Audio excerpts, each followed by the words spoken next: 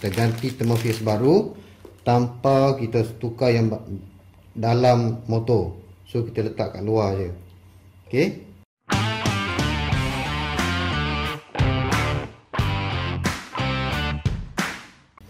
Hai, Assalamualaikum. Kembali lagi bersama saya dalam segmen Baik Pulih Peralatan Elektrik.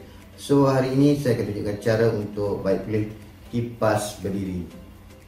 Okay, kita tengok keadaan kipas kita sebelum kita baik pulih Okay, kita onkan bekalan Kelajuan yang pertama tak ada pusingan Kelajuan yang kedua sama, tak ada pusingan Kelajuan yang ketiga pun sama, tak ada pusingan. So maksudnya kipas ni dah rosak lah.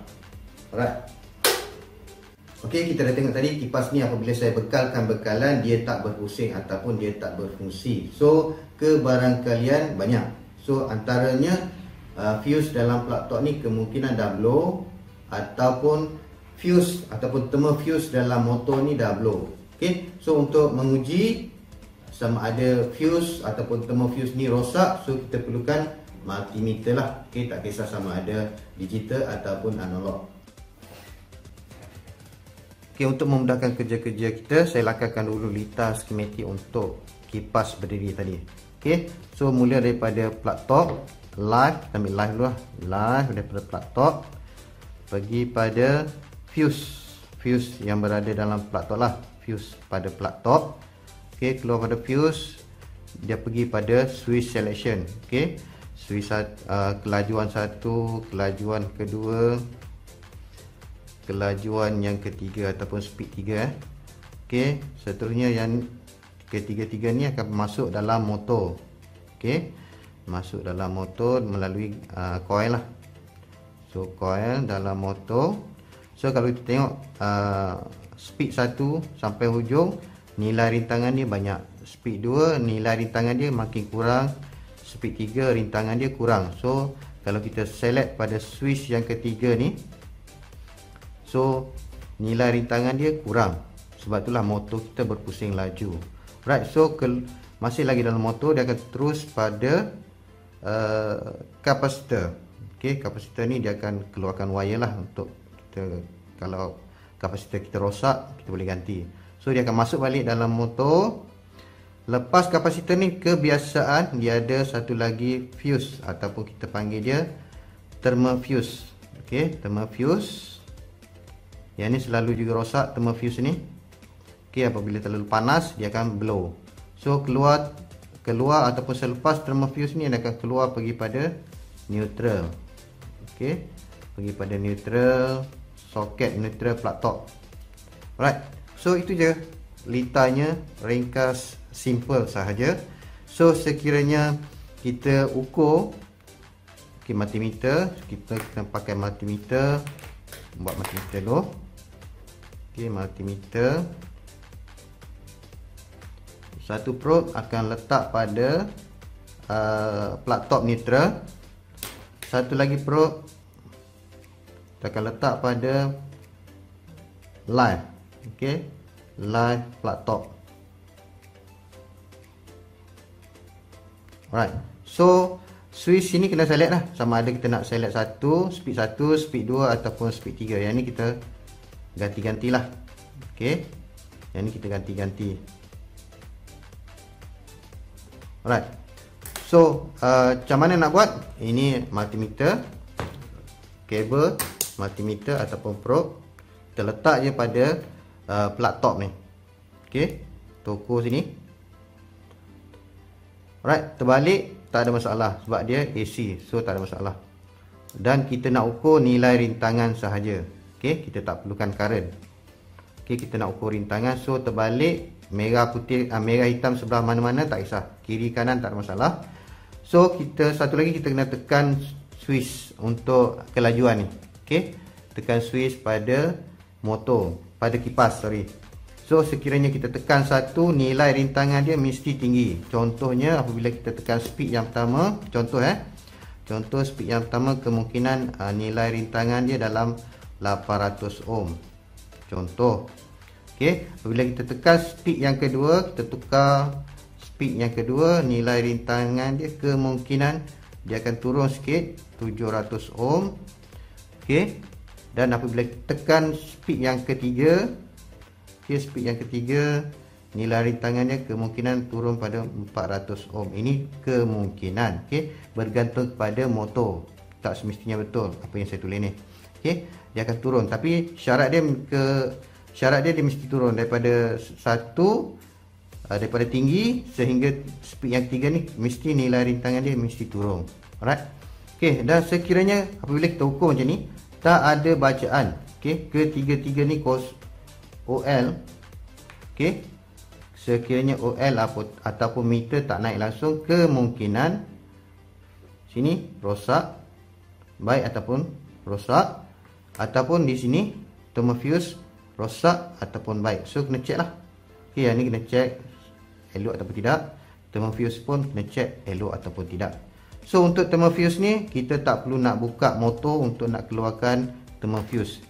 Kesemua ni um, berada dalam motor. Yang ni dalam motor ah, motor. Benda ni berada dalam motor kecuali kapasitor ni, kapasitor ditarik keluar lah. Okey, dia akan keluar ada dua wire dikeluarkan untuk supaya kapasitor ni tak ada dalam motor. Okey, so yang lain-lain ni berada dalam motor. Termasuklah thermofuse ni pun berada dalam motor. So nak mudah, nak senang. So daripada kabel neutral, daripada kabel neutral ni Okey, uh, kabel neutral ni biasa dah ada kat dia punya leher ataupun dekat uh, motor dalam tu. So dah ada kabel neutral. So kita tambah kalau sekiranya thermofuse ni rosak, so kita boleh tambah di sini. Kita letak thermofuse baru. Kita terus pada keluaran uh, kapasitor. So yang ni kita abaikan kita biar je dia duduk dalam motor duduk diam-diam kat situ tak perlu nak usik tak perlu nak buka motor supaya kita nak mengelak daripada berlaku kerosakan pada motor okey sebab uh, kabel winding dalam motor tu halus je. Okey kabel winding dalam motor tu halus je. So kita nak mengelak daripada kita buka motor dan boleh menyebabkan rosak motor.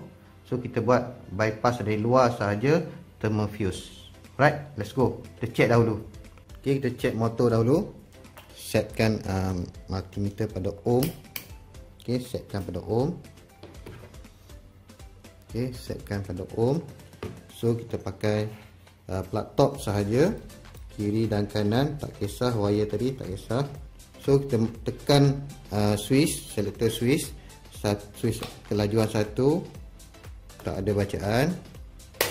Kelajuan dua tak ada bacaan. Kelajuan 3 pun tak ada bacaan. Ok so kemungkinan kipas ni dua benda sahaja. Fuse dalam plug ni rosak ataupun thermofuse dalam motor ni dah rosak ok seterusnya kita check fuse dalam plug top ini yang penting. Sebelum kita pergi jauh sebelum kita buka motor. So first kita check fuse ok atau tidak. Ok set pada buzzer ataupun ohm. Okay, set buzzer lah. Boleh dengar. Sorry, set buzzer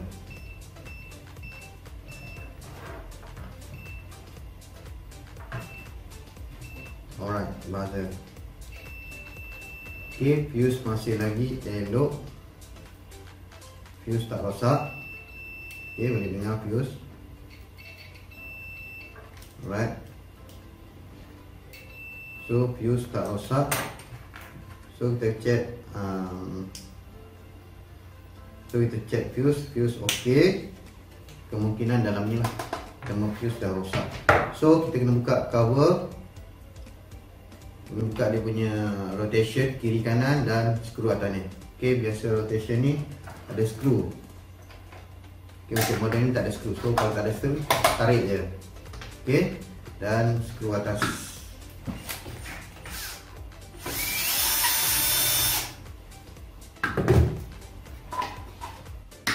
Okey, kita nak bypass neutral.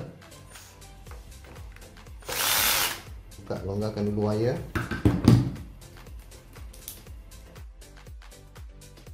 Nak mudah, nak senang, kita buka sikit dia punya kelebat. Okey, nak test mana satu input, mana satu output dia. sikit je ok dan uh, kita keluarkan kabel ni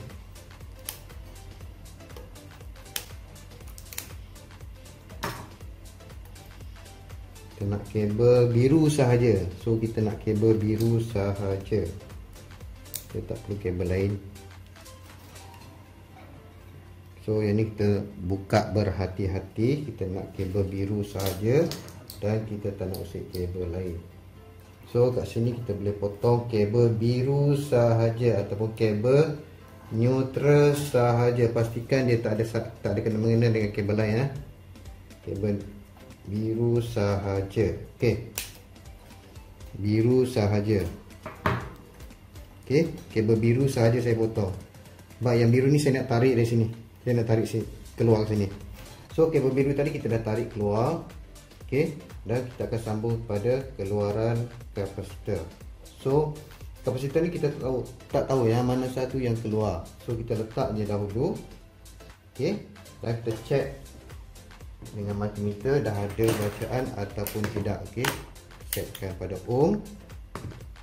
Masuk uh, speed satu dahulu kita pakai speed satu. Speed satu. Check ada tak bacaan. Okey, speed 1 dah ada 783 ohm. Speed 2 naik sikit. Oh. Speed 2 dia turun pada 711 ohm. Speed yang ketiga okey dia turun pada 600 586. So, motor kita dah ada sambungan. So maksudnya tadi uh, dia tak ada sambungan tu disebabkan oleh thermofuse kita dah rosak. So uh, thermofuse yang baru kita boleh ganti, kita boleh masukkan pada kabel biru ni dan kita boleh lekatkan salah satu pada wire kapasitor ni. Right, so kita test dahulu kita nak sekarang kita nak pilih kabel kapasitor ni mana satu yang kita nak lekat. Okey, jadi kita kena masukkan current dahululah.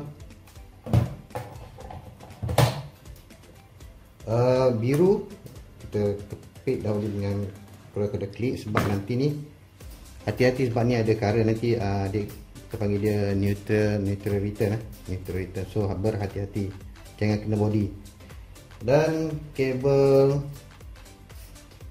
yang hujung ni kita akan sentuh pada salah satu uh, kapasitor dan kita tengok putaran kipas ok kita nak putaran kipas tu ikut jam Okey dan berhati-hati sebab sini ada current ni. Okey kita ambil yang atas dahulu. So putaran ke sana ke kiri. Kalau uh, sebelah bawah tunggu dia berhenti dahulu.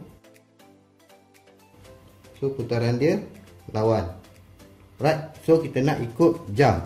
Putaran ikut arah jam. So putaran ikut arah jam yang sebelah atas tadilah. Okey ni.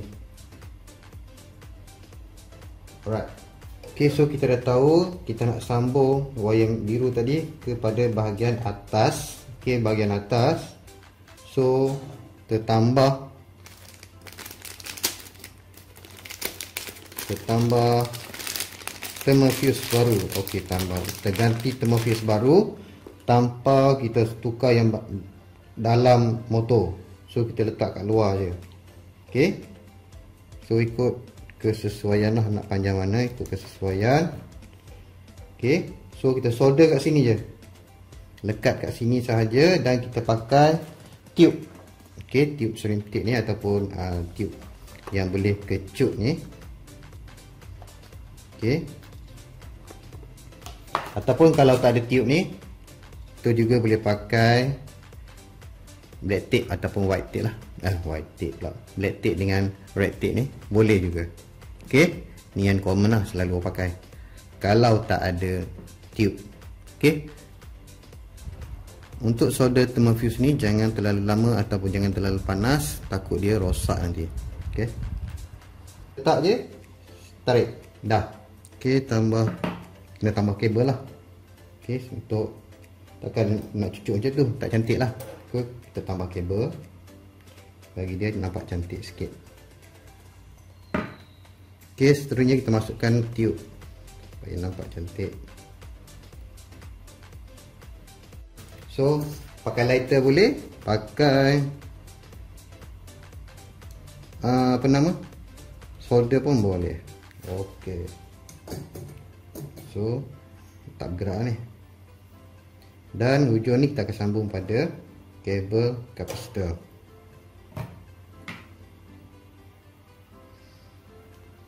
Tak apa kabel panjang tak apa senang kita nak sambung.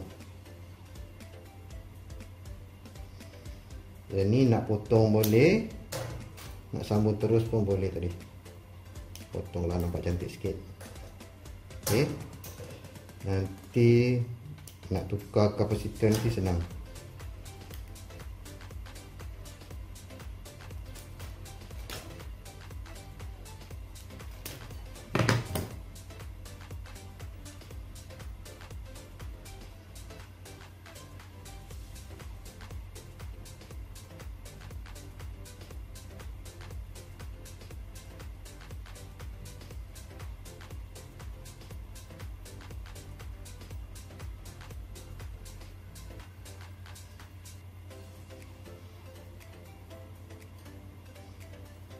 Okey.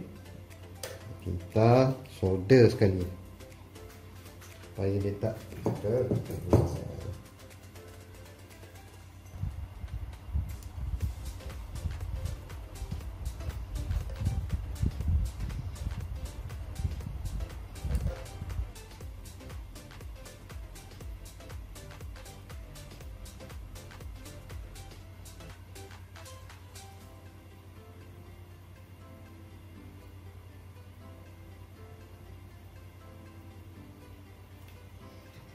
Okey, dah siap solder. So, kita masukkan swing tape.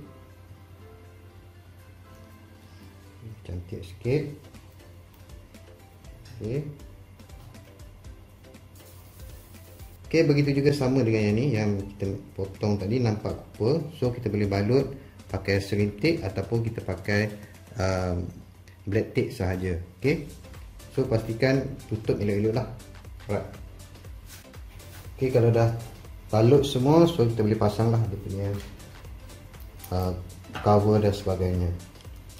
Ok yang ni kita kemas-kemaskan sikit supaya dia tak bersentuh dengan besi ataupun body dia. Ok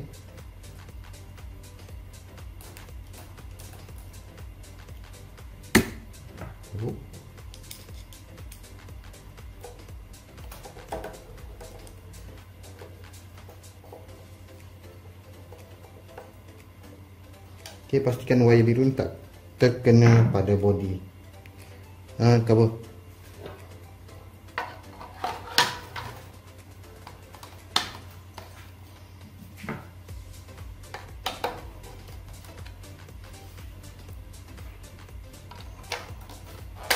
Alright, so kita test.